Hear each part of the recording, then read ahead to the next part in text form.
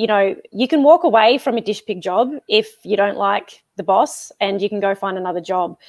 A, a career with Victoria Police is a career. It's it's your entire life and it's something that you work and study hard for and you want to move through the ranks and you it's a it is a tough gig to to get promoted it's very competitive you you have to work mm. hard so it is very hard for people to make that decision to walk away and to do what people are asking, you know, which is a lot of the protesters are saying is, you know, police stand with us.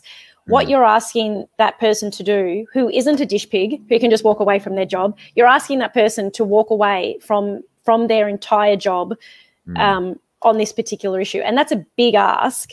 Yeah. And uh, rightly or wrongly, some people will say, "Well, you should," and others will say, "Well, no, I understand. It's it's a career."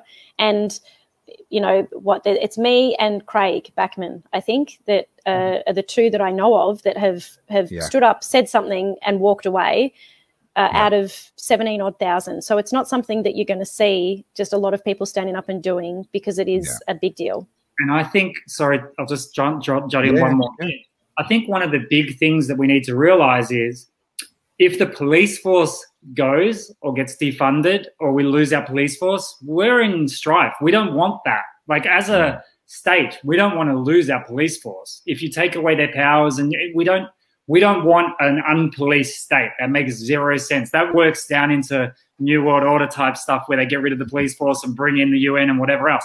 We don't want that.